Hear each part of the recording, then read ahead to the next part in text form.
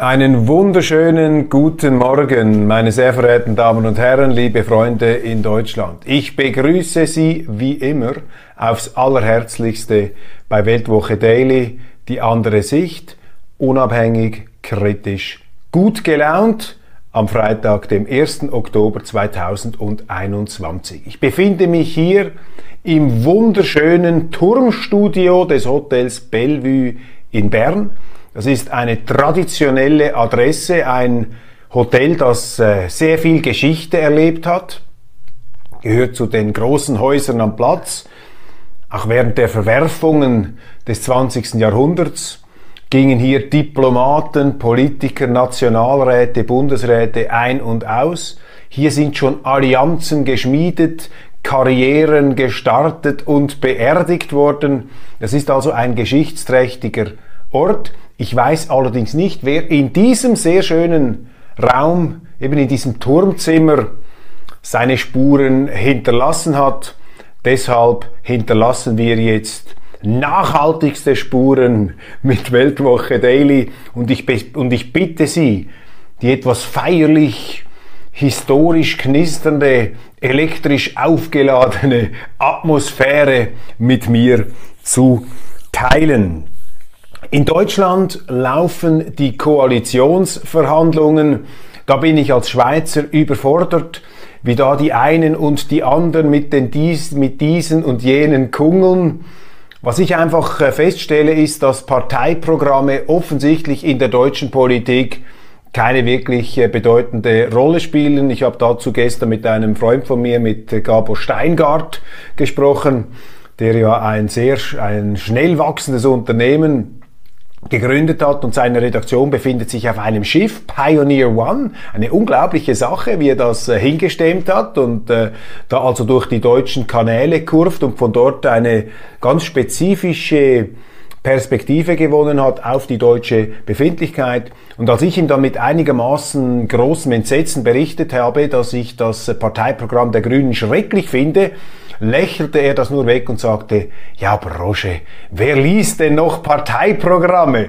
Du bist der Einzige. Und glauben tun sie sowieso nicht daran. Nun, vielleicht bin ich hier als Protestant der ähm, Texte noch wörtlich nimmt, beziehungsweise Texte sehr ernst nimmt, nicht unbedingt wörtlich, man kann sie auch symbolisch nehmen, aber zumindest die Texte sehr ernst nimmt, bin ich doch etwas anderer Meinung. Ich finde, Parteiprogramme zählen, weil die formulieren den verbindlichen Auftrag für eine Partei. Und das ist ja meistens auch das Resultat eines kollektiven oder demokratischen Prozesses, in dem diese Parteiprogramme abgesegnet werden. Das ist quasi wie die Produktedeklaration. Wenn Sie ein Coca-Cola kaufen zum Beispiel, dann wissen Sie, da ist Coca-Cola drin. Und wenn Sie die Grünen wählen, dann wissen Sie, da ist das drin, was in diesem Parteiprogramm steht.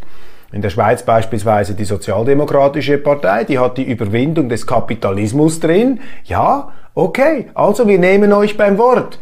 Interessant ist, dass ja sehr viele Politiker, sobald sie in die Nähe der Macht kommen, sich von diesen Programmen wieder distanzieren. Also Sie finden in der Schweiz nicht viele Sozialdemokraten, die Ihnen sagen, ja klar, wir wollen den Kapitalismus überwinden.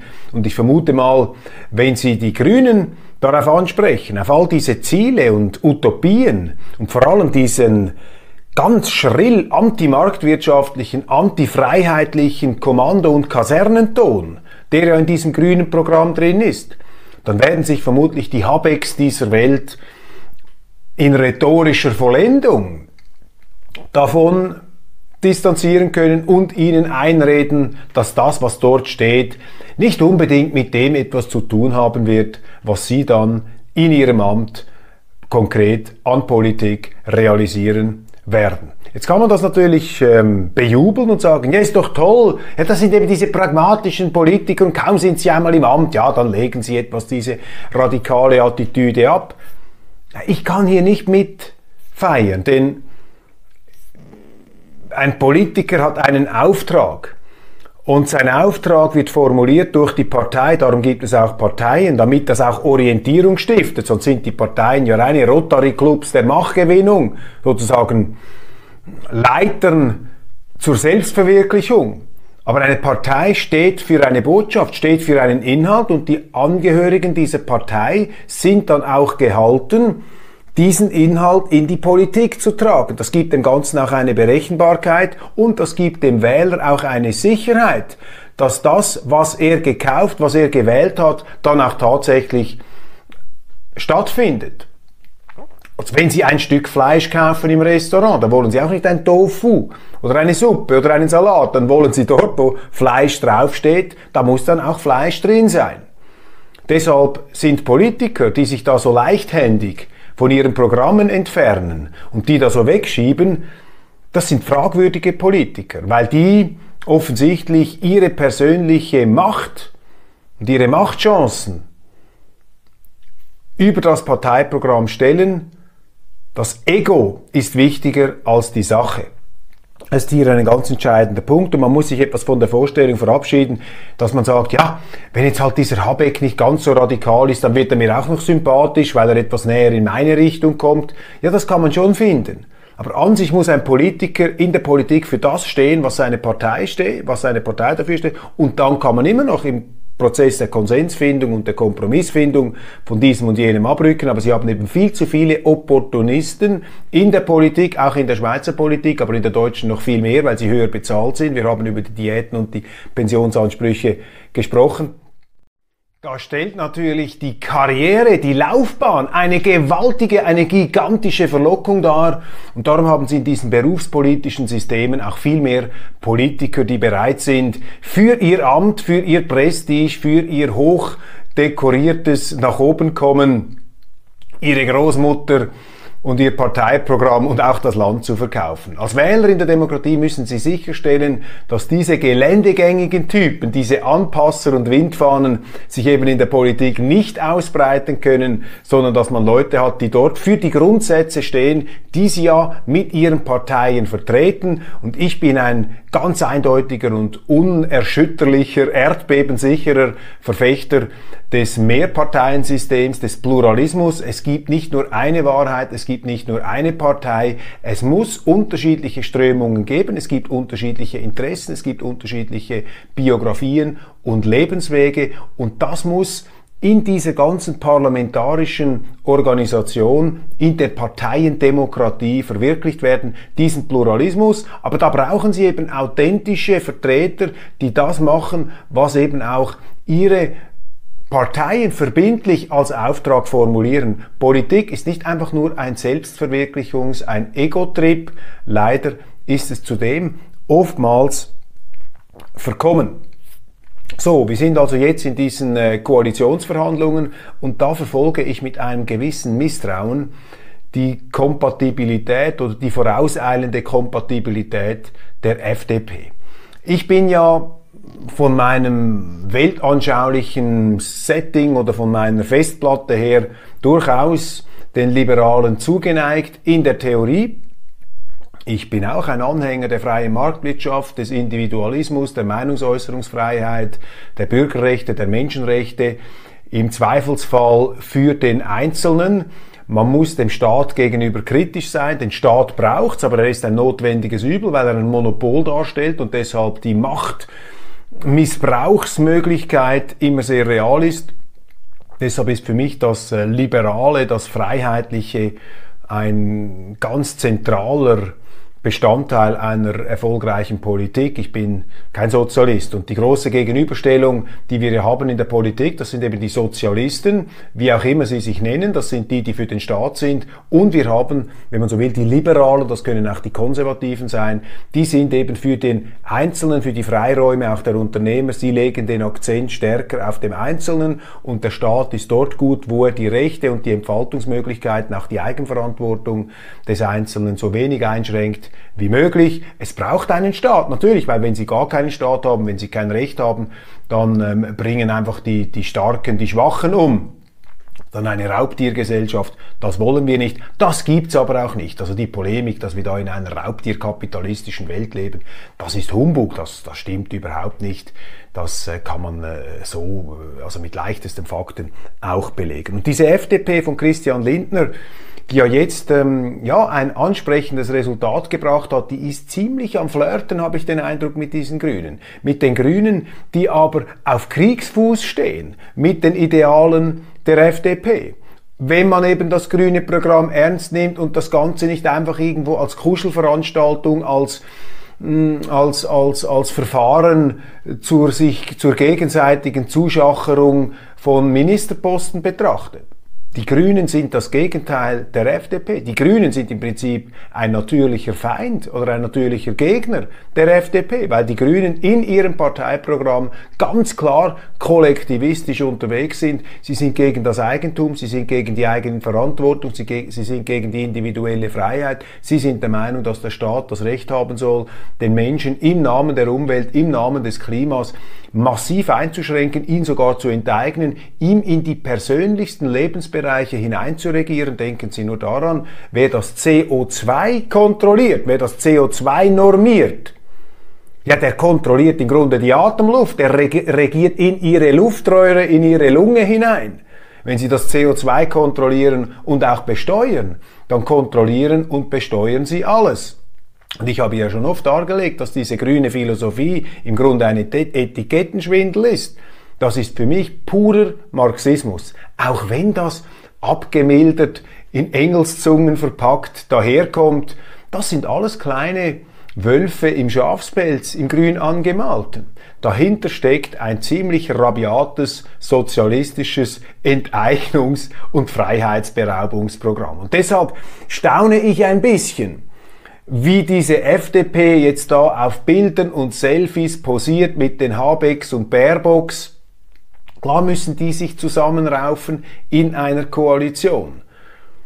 Aber irgendwie habe ich das Gefühl, da ist zu viel atmosphärisch positive Verbrüderungsbefindlichkeit drin. Vielleicht täusche ich mich, vielleicht sind da doch kritischere Energien da. Ich glaube, es ist wichtig, dass hier Widerstand geleistet wird gegen diese kollektivistische Umverteilungs- und Enteignungsschiene, die ganz klar auch von den Grünen massiv bewirtschaftet wird. Also die FDP ist mir hier ein bisschen zu wenig ähm, kritisch dran.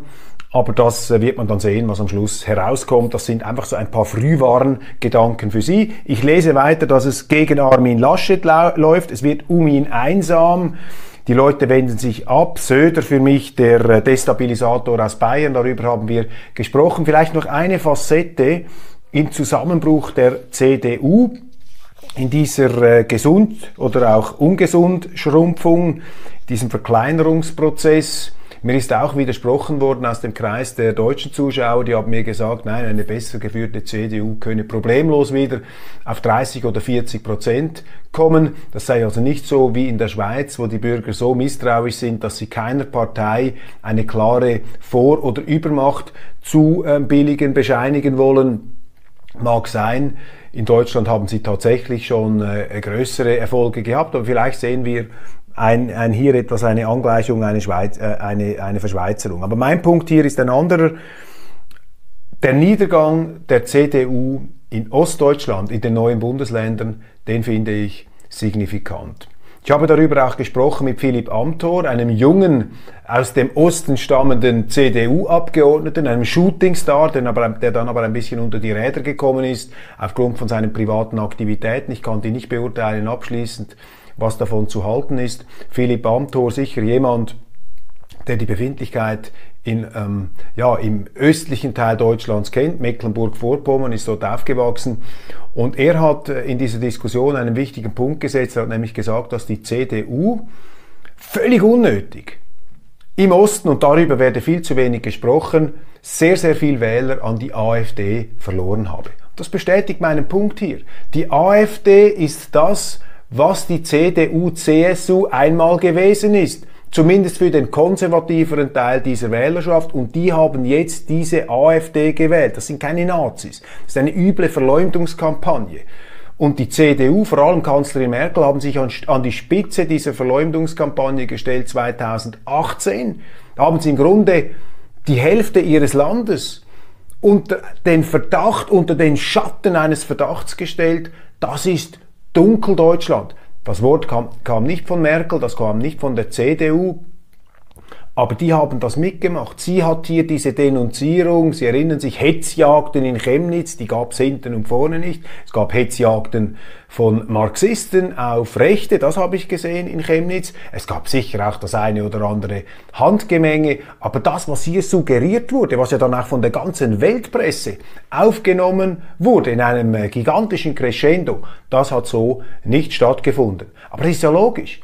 Wenn Sie als Regierung, wenn Sie als CDU diesen stolzen Sachsen, Thüringen, den Leuten aus den neuen Bundesländern, wenn Sie denen sagen, ihr seid Nazis, ich meine, das, das ist doch eine unglaubliche, eine, für mich als, als demokratischer Schweizer, verzeihen Sie hier meine Emotionalität, das ist doch unfassbar. Und da muss man sich doch nicht wundern, wenn man diese Leute verliert an eine Partei, die denen den Stolz, den berechtigten Stolz auch auf ihre deutsche Heimat wiederzugeben versucht. Das hat auch nichts mit Nazitum zu tun. Hier wird so unseriös diskutiert, wird hier also wirklich mit fragwürdigsten historischen Parallelen gearbeitet. Das gilt für mich übrigens auch für die Linkspartei. Für mich ist ein Oskar Lafontaine kein neuer Erich Honecker oder ein Walter Ulbricht. Auch wenn ich Herrn Lafontaine einmal in einer Fernsehsendung in Deutschland gesagt habe, ich wundere mich, warum ein so intelligenter alter Mann wie Sie einen derartigen Unsinn erzählen kann, als er hier seine sozialistischen Rezepte für die Bundesrepublik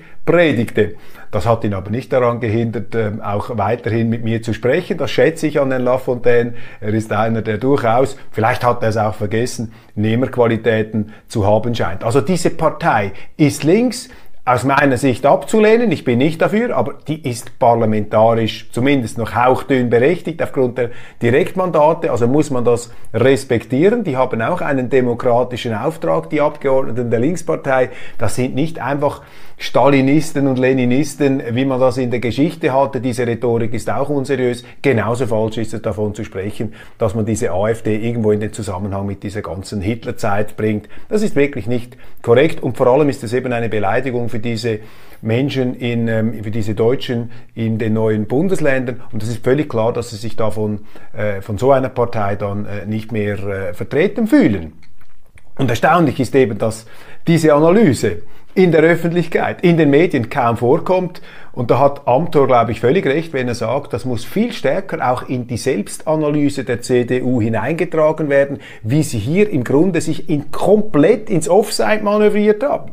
Stellen Sie sich vor, im Osten muss ja diese CDU jetzt mit den Linken paktieren, um die AfD zu bekämpfen, während sie sich im Westen sozusagen als bürgerlicher, äh, als bürgerliche Avantgarde, als bürgerliche Nummer 1 Partei verkaufen wollen. Also das ist eine Seelenspaltung, dagegen ist Faust Faust ein äh, perfekt ausbalanciertes Individuum gewesen. Unglaublich. Also eine mehr als faustische Seelenzerklüftung, die wir da innerhalb der CDU beobachten, was wiederum meine These unterstreicht, dass diese CDU sich derart verloren hat in diesen machtbetrunkenen Merkel-Jahren, dass sie äh, in der Opposition wieder zu sich selber finden muss. Interessant, dass da die CDUler auch nicht mitmachen. Die kommen eben auch nicht weg vom Heroin der Posten, vom Heroin der Karriere, des Prestiges, ihrer da geheizten Büros mit den Mitarbeitern und einige haben noch einen Dienstwagen. Klar, diese Macht in Deutschland korrumpiert, weil sie eben auch sehr gut bezahlt ist. Aber Sie als Wähler müssen eben darauf achten, dass Sie Leute nach Berlin bringen, die tatsächlich für die Sache stehen und nicht primär für sich selber. Und jetzt bringe ich gleich einen ganz provokativen Gedanken.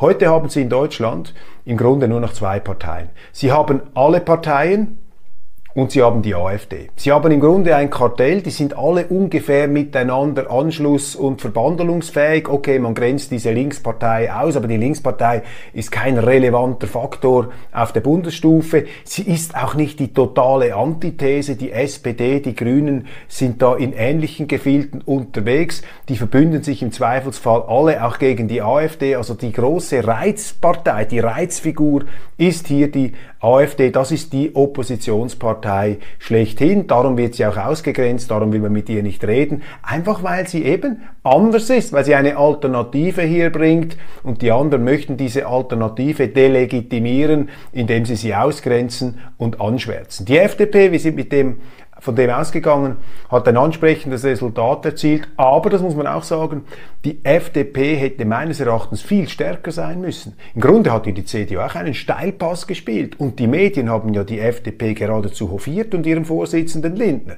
Es gibt ja so eine heimliche Sehnsucht in der FDP, beziehungsweise in der deutschen Bevölkerung, in gewissen Kreisen, auch bei den Journalisten, man ist für diese FDP, weil das irgendwie etwas ähm, Elitäres hat. Man ist dann auch Teil einer geistigen, liberalen Avantgarde. Man ist etwas Besseres als der sogenannte angeblich dumpfe, obrigkeitshörige Deutsche. Ich teile das überhaupt nicht, diese Polemik gegen die Deutschen.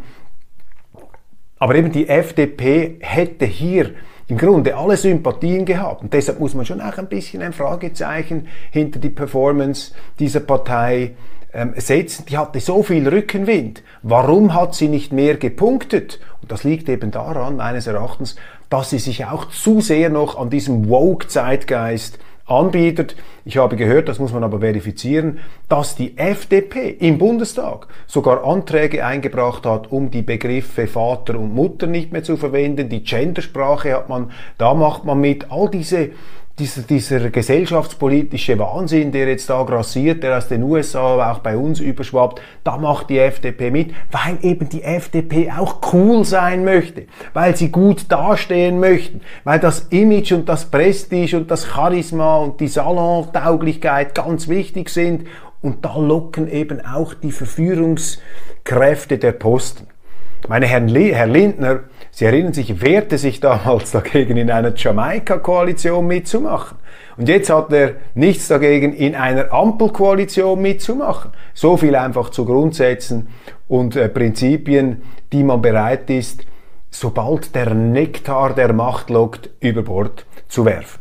Und die einzige Partei, und das ist jetzt die provokative Aussage, aus meiner Sicht jetzt, vielleicht liege ich falsch, aber die einzige Partei, die wir in Deutschland haben, wo ich sicher weiß, da spielen die Postenschachereien eine untergeordnete Rolle, wobei sie auch dort eine Rolle spielen. Selbstverständlich wird auch eine AfD korrumpiert durch dieses, ähm, durch diesen Machtapparat, durch dieses Machtmonopol in ähm, Berlin durch diesen Staat mit all seinen äh, Annehmlichkeiten. Natürlich haben sie das auch und sie haben auch Vertreter dieser Strömung. Ich würde Herrn Meuthen, den Parteivorsitzenden, ganz klar als so einen ähm, Apparatpolitiker, also ein Apparatschik, also ein Karrierepolitiker bezeichnen, der natürlich hier deshalb auch diese Linie fährt, äh, damit er eben ähm, quasi äh, nicht mehr so stark kritisiert wird, damit man mit diesen oppositionellen ähm, Anfeindungen, äh, dass man davon weniger hört.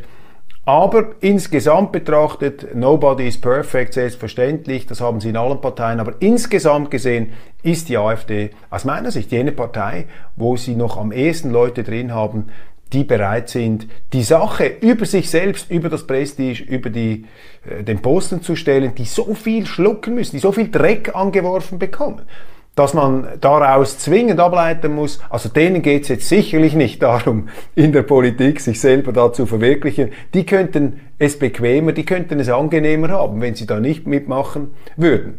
Und am extremsten angefeindet wird ja Björn Höcke, das ist ja der Teufel, das dürfen sie in Deutschland, das sehe ich immer wieder in Talkshows, dessen Namen, den dürfen sie gar nicht erwähnen. Der hat sich ja zum Skandal von Anfang an gemacht, als er mal in einer Talkshow eine Deutschlandfahne ausgerollt hat. Dann hat er das Holocaust-Denkmal einmal als Denkmal der Schande bezeichnet. Das fand ich auch jetzt eine völlig deplatzierte Aussage von ihm. Er hat sich dann herausgeredet und gesagt, ja, das sei äh, doppeldeutig oder beziehungsweise da sei er falsch verstanden worden, weil die Schande sei ja die Schande der Deutschen. Aber äh, ja, also ich meine, da würde ich jetzt sagen, das sind schon auch intelligente Leute, die wissen natürlich, wenn sie solche Aussagen fallen lassen, dass das auch in dem ganz falschen Kontext und ganz falsch und anders ankommen kann. Und hier war klar, der hat einfach quasi dieses äh, Denkmal da ins, äh, ins Lächerliche ziehen wollen. Zumindest so kam das rüber, so konnte man das empfinden und ich würde sagen, bei aller ähm, allem distanzierten Wohlwollen, ja, das sind delikate Themen und da müssen Sie sich als Politiker schon auch äh, irgendwie auszudrücken wissen. Da können Sie nicht einfach mit der Kettensäge, mit dem Baseballschläger an diese Themen ran. Das ist eine ziemlich behutsame Angelegenheit. Und da fragt man sich dann, ja, warum liefern jetzt diese Leute da ihren Gegnern auch noch die Messer in die Hand. Also da wird dann die AfD geradezu zur selbsterfüllenden Prophezeiung ihrer, ihrer Gegner und ihrer Feinde, die nur darauf lauern, dass sie sie in dieser Nazi-Schublade versorgen können. Aber auch dieser Höcke, jetzt müssen Sie sich das einmal vor Augen führen, hat ja ein Glanzresultat in Thüringen eingefahren. Und das heißt doch, dass die Thüringer, die nun ihren Höcke etwas besser kennen als vielleicht die Berliner, die Baden-Württemberger oder die Journalisten in Hamburg oder in der Hauptstadt, die scheinen da nicht ganz den gleichen Eindruck zu haben, dass sie hier einen zweiten Hitler wählen. Und da müsste man doch irgendwann einmal als deutscher Journalist bereit sein, sich mit der Realität zu befassen und nicht mit den Projektionen, die man auf diese Realität wirft. Da müsste man zum Beispiel mal die Thüringer fragen, du, wie seht ihr es denn eigentlich? Findet ihr denn das nicht ein Problem, was er da gesagt hat? Vielleicht finden die Thüringer auch, dass äh, Höcke was ganz anderes gemeint habe, damals mit diesem Holocaust-Denkmal. Vielleicht haben sie das ganz anders empfunden. Man geht ja so weit, dass die Journalisten gar nicht mehr mit ihm reden. Mit den Taliban reden sie, aber mit Herrn Höcke reden sie nicht. Und das sagt im Grunde eigentlich schon alles. Bei aller Kritik, die man ja sogar noch haben kann. Aber ist einfach nicht mehr professionell. Und da sehen Sie eben auch, dass die Medien Teil dieses Mainstream-Kartells sind. Und die Opposition in ein schiefes Licht setzen wollen. Das ist interessant. Also das finde ich eigentlich die interessante Story hier, wie alle gegen eine Partei gehen und wie man jetzt so tut, als sei da eine gewisse demokratische Normalität eingekehrt in Berlin. Dabei hat das Ganze doch einen etwas unwirklichen, surrealen Charakter, weil eine Partei, die immer noch zweistellig gewählt wird, mit Führungsschwächen natürlich, die wird mehr oder weniger ignoriert in diesem ganzen, äh, in diesem ganzen Thema drin. Und Armin Laschet, seine CDU hat eben den Kapitalfehler gemacht, den Osten integral preiszugeben und die Quittung hat sie jetzt bekommen. Das Ganze ist ein Symptom für ihre Desorientierung. Aber ich wollte hier einfach nochmal den Punkt setzen, dass diese, dieses Missverständnis zwischen den Menschen in den neuen Bundesländern und, dem und den, den Leuten in den äh, alten Bundesländern, dass die irgendwie aneinander vorbeireden oder viele von denen, ich weiß es nicht. Das ist so mein Eindruck, man hat das Gefühl im Osten, da seien alles so Nationalisten unterwegs und äh, die kommen den Westlern irgendwie äh, komisch vor. Dabei müssen die sich doch, ähm, ja, die müssen sich äh, verständigen. Eine andere, eine andere Möglichkeit gibt es ja hier nicht. Wenn wir von dieser deutschen Situation, und das ist vielleicht mein nächster Gedanke in dieser Sendung, den, ich, den ich Ihnen noch mitgeben möchte, nachher schauen wir noch kurz auf äh, ein paar weitere News. Wenn ich mir so die politische Landschaft insgesamt anschaue, wenn ich so ein bisschen beobachte, auch mit dieser Pandemie, was jetzt passiert ist, dann sehen wir eine ganz klare Konfliktlinie in der internationalen, aber auch in der nationalen Politik der einzelnen Staaten. Es gibt im Grunde wie zwei große Lager. Sie haben auf der einen Seite die politischen Internationalisten oder die politischen Globalisten, das ist ja auch sein Wort, das fast schon auf dem äh, Index steht. Also die Leute, die da im Begriff sind, Staaten, die Politik möglichst international, institutionell zu vernetzen. Die Europäische Union ist quasi institutioneller Ausdruck dieses ähm, Versuchs, den Nationalstaat zu überwinden durch ein supranationales, so nennen sie sich, supranationales institutionelles Gebilde. Und das Problem dieser supranationalen oder internationalen oder globalistischen institutionellen ähm, Einrichtungen ist immer, dass sie ein Demokratiedefizit haben. Denn in diesem Internationalismus hat der Einzelne, der Bürger irgendwo in seinem Land einfach weniger zu sagen, zum Teil nichts zu sagen. Und die EU ist ja ein klassischer Ausdruck. In der EU haben sie im Grunde eine Regierung, hm, eine Exekutiv- und Gesetzesproduktionsmaschine, eine Gesetzesfabrik. Aber wie genau kann man eigentlich als Bürger auf diese Gesetzgebung einwirken? Und das ist nicht nur eine Kritik, die da von ganz rechts außen kommt, sondern zum Beispiel der frühere deutsche Bundespräsident Roman Herzog hat sich damit auch auseinandergesetzt in einem großen Essay in der Welt am Sonntag 2006 bereits. Hat Roman Herzog gesagt, 84 Prozent aller Gesetze, die in Deutschland verabschiedet worden, werden in jedem Jahr, 84 Prozent, die kommen aus der Europäischen Union, ohne dass der Bundestag, ohne dass die deutsche Demokratie im Grunde die absegnen kann. Die werden quasi eingeflogen über die Bande Brüssel. Und das ist ein riesiges Thema. Also hier findet natürlich ein großer Entfremdungsprozess statt, ein Entdemokratisierungsprozess. Und die Ironie besteht darin, dass ja die Medien eben auch Teil dieser internationalistischen, globalistischen, wie Sie immer das nennen wollen, Elite sein möchten, die gegen den Nationalstaat sind. Das sind die Populisten, das sind die Nationalisten, das sind die Hinterwäldler. Und sie bezichtigen dann die, die gegen diesen politischen Internationalismus sind. Das ist etwas anderes als der wirtschaftliche Internationalismus, die Globalisierung, die etwas sehr Segensreiches ist. Man könnte auch von Freihandel sprechen.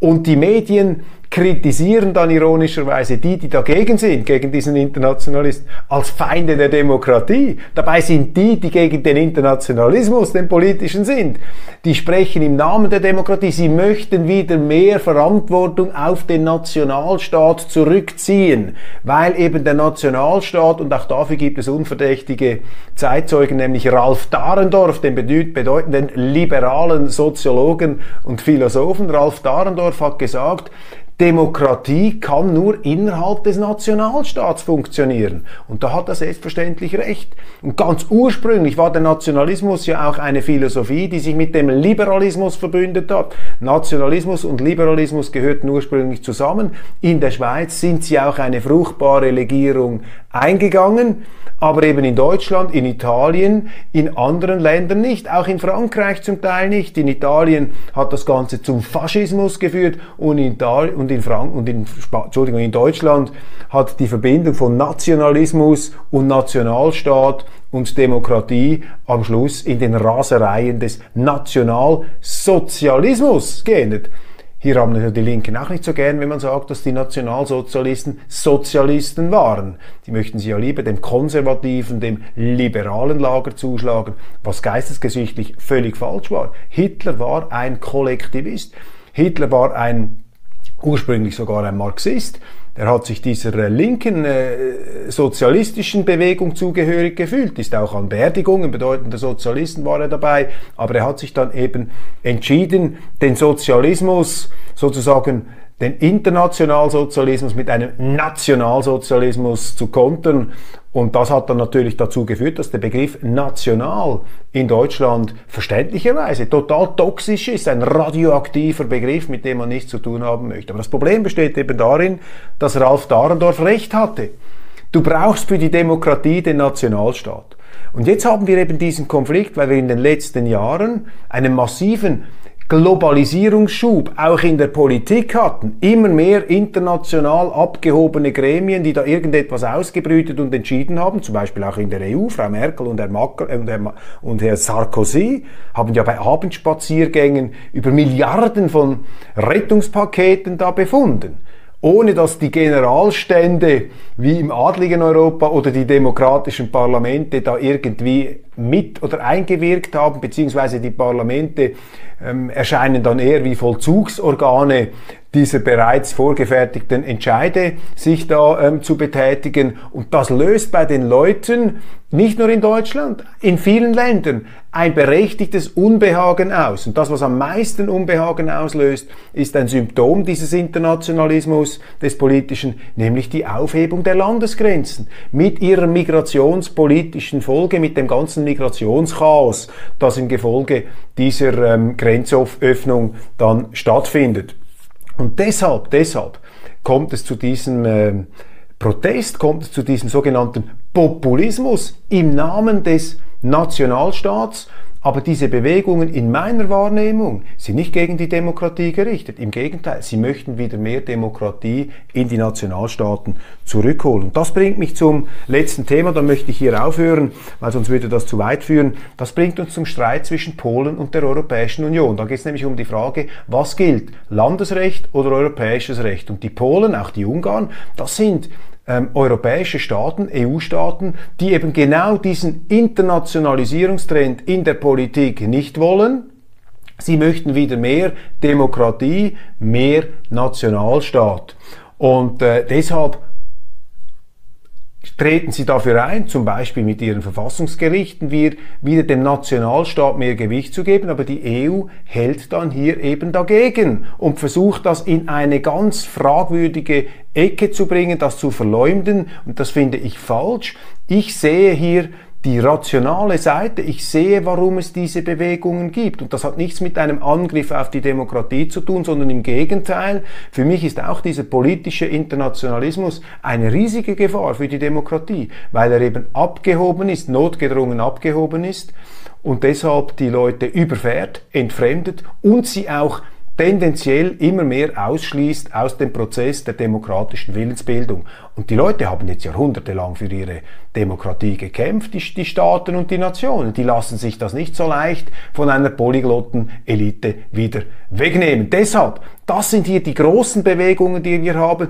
Die spielen jetzt in diesen Koalitionsverhandlungen keine so ähm, wichtige Rolle. Das, was da zusammengefunden hat in Berlin, das sind alles Vertreter dieses Internationalismus und sie haben im Grunde in Deutschland eine Partei, die sich da dagegen stemmt und die wird dann konsequenterweise in die Nazi, in die undemokratische Ecke gestellt, weil es dort angeblich fragwürdige Leute geben soll, die da mitmachen oder mitgrölen, mitlaufen, wie auch immer. Da muss man sehr genau aufpassen, wenn solche Denunziationsprozesse laufen. Das hat es immer gegeben, das hat es in der Sowjetunion gegeben, das hat es aber auch im bürgerlichen Europa des Kalten Kriegs gegeben, als man jeden linken ähm, Kritiker der Regierungspolitik als ferngesteuerten Agenten Moskaus bezeichnet hat. Davon halte ich nichts.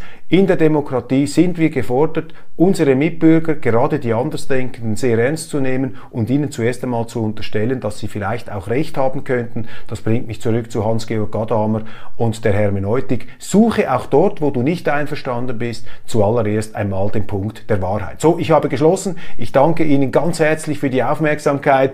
Eine etwas äh, philosophische Sendung heute zum äh, Wochenende. Ich hoffe, ich konnte Ihnen ein paar Anstöße vermitteln. Ich freue mich, wenn Sie dann am Montag wieder dabei sind, wenn es heißt Weltwoche Daily, die andere Sicht. Vielen Dank.